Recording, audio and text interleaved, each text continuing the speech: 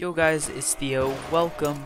Today we are talking about the top 5 worst guns in Black Ops 3 Zombies. Now, we're going to be rating the worst guns in the game based off many factors, just on how well they were used in the game to go smoothly and efficiently through the rounds. So, um, but before we get started, I do want to talk about my Twitch. I have been streaming a lot on Twitch recently, including zombies and other games, so definitely check it out. There's stuff for everyone. It's twitch.tv slash bigbodtodd. The link will be in the description.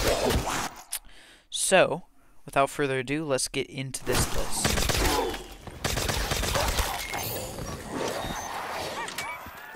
Okay, so coming in at number 5, we have the Gorgon. The Gorgon is an LMG. It has I think 50 rounds. yeah, 50 rounds per magazine. So a lot of bullets. Unfortunately, it shoots slowly, especially for an LMG. Shoots pretty slowly. You can see the background. It's, it's quite slow. The reload is very slow, which is why it's not great for high rounding, unless you have speed pull up, which obviously is very helpful, but you can see here I'm reloading and it's taking a long time. You have to keep moving. So if you are able to pack punch it, which not all maps do, that does help a lot. And at that point, it can be useful for uh, just camping in corners. It's not really good for training, but so that's why I'm putting it at number five. Slow reload, slow rate of fire, and that's about that's it. Just what we needed. Although some vodka would be nice. Okay, so coming in at number 4, we have the XM53. This is a rocket launcher. It has one rocket per mag, and then you reload. It's the decent rate of fire. The reload is not too bad, but again, it only has one rocket before you have to reload. The damage is nice, and especially if you pack a punch, and it can be useful for training uh, especially on bigger maps. Obviously, in the background, I'm playing on Nacht der Untoten, so you can't train super well on that map. But if you do are able to train, it can be useful for that. But there are much better guns to train with, like the Wunderwaffe, a ray gun, a lot of different guns. So this gun is honestly kind of useless. But yeah, so, and plus, one of the most important things in my opinion is it can't be customized.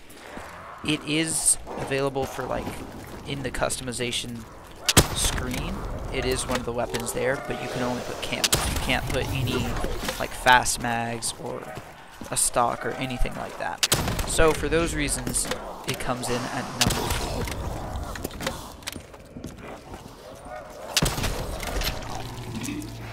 Now for number three, we have a sniper we have the SVG-100. In my opinion, this is easily the worst sniper.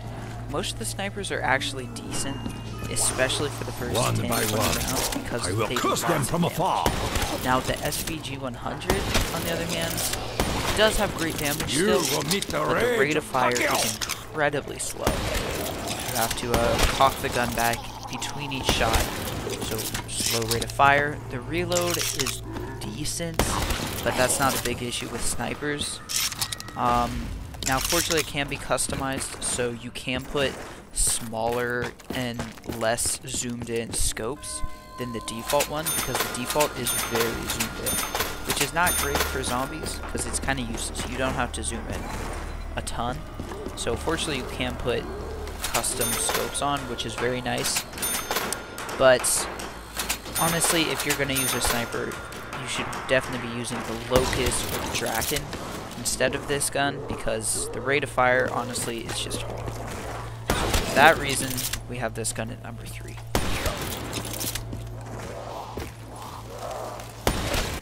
With the number 2 spot, I have to go with the Pharo.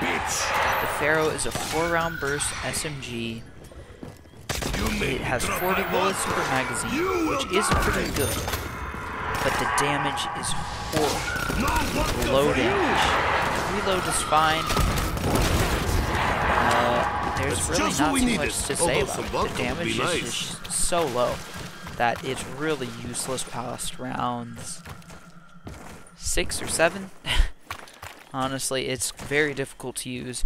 Now, obviously, I'm using this on round 24, and it's on Shi No Numa, so there's no Pack-a-Punch unless you're using Mega Gobblegums, which makes it crazy difficult. And as you can see, it, it takes like 12, 16 bullets, 3 or 4 bursts. Unfortunately, the rate of fire is fast. You can see I'm I'm shooting a 4 round burst very often, but still, the damage is, is so low. It's very, very difficult to use. Second worst gun in, in the game, in my opinion. So, yeah. That warrants a drink! Now, before we get to number one, we do have an honorable mention. Let us drink to this And to be honest, machine. Before I started recording and getting clips for the background, I had this as number one on the list. I had it as the worst gun in the game. But using it, I realized it is much better than I thought. And it is the MX Garand. Now this gun, I thought it was the worst because the damage for body shots is so low. It's about the same as the Sheiva. And the rate of fire is decent. There's only 8 bullets per clip.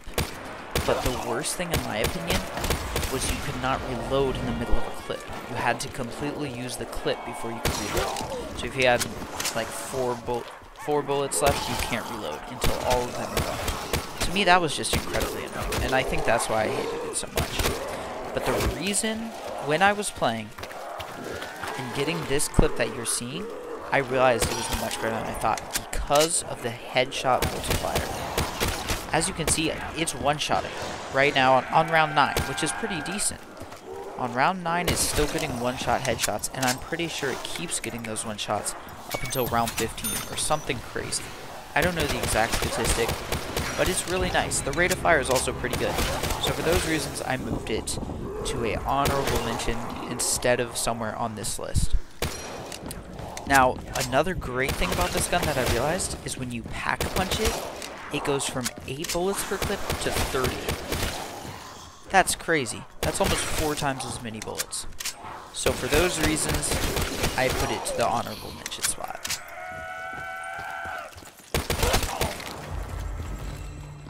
Now, ladies and gentlemen, here we are at the number one spot, and I'm sure many of you have guessed it by now. Maximum ammo equals But in my opinion, the worst gun in Black Ops 3 Zombies is the Sheiva. Many people hate this gun. A lot of people strongly dislike it. They think it's very bad, and honestly, it is. Body shot damage, so low. By round, I think 5 or 6, it takes almost a full magazine to get a kill. Unless you're only getting headshots, but the headshot multiplier is not that great, not nearly as good as the MX Garand. It's probably like, I think 1.25 or something.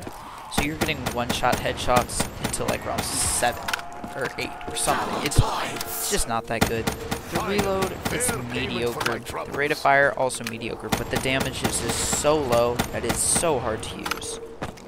You can pack a punch this gun. I don't know why you would ever want to, but you can.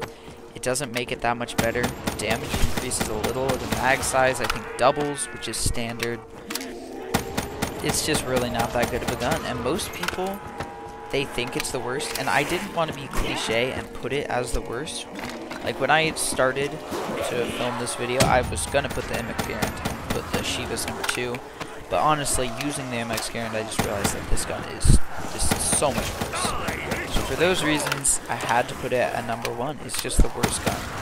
Now it is available for customization in the uh, the setting or the the menu of the game, which is nice. So you can get fast mags, stuff to slightly increase it, but honestly, it's just not that good. So for that reason, it's number one.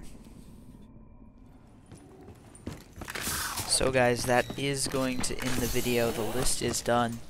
Guys, make sure you go to the comments and let me know whether you agree or disagree with this list. Because I've seen many different lists from many YouTubers or content creators of differences and lots of similarities in my list and theirs.